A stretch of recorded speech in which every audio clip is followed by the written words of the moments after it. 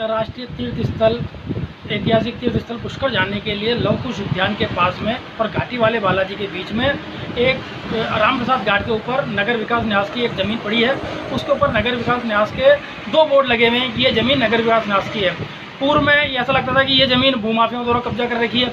यहाँ पर नागफणी, रामनगर, कोटड़ा, जो भी इस इलाके का मलबा जो है ना, चूने भाटे ये गधों से और ट्रैक्टर ट्रोलियों से यहाँ डाला जा रहा है। और अभी नगर निगम द्वारा लाखों रुपए लगा करके फ़ूड कोर्ट का निर्माण कराया जा रहा है। साथ ही अब आप यहाँ से देखिए, मैंने इस संदर्भ में कल जो सेक्रेटरी है एडीए के, किशोर कुमार जी, उनसे मैंने बात करी कि साहब, आपकी ज़मीन है, इसके ऊपर कब्जा कर रहा था, उन्होंने अधिकारियों को भेजा।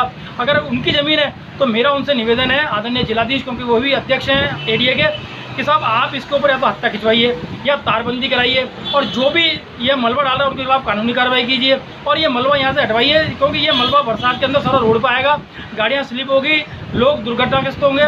और शाम को यहाँ पे असामाजिक तत्वों का जमावड़ा लगा रहता है झाड़ियाँ लगी हुई है ज़मीन के अंदर और मलबा है तो टीलों के अंदर असामाजिक तत्व लगे रहते हैं यहाँ इकट्ठे होते हैं तो आदरणीय जिलाधीश महोदय और मेरा एडीए सेक्रेटरी महोदय किशोर कुमार जी से निवेदन है कृपया इसके ऊपर जल्द से जल्द कार्रवाई करें।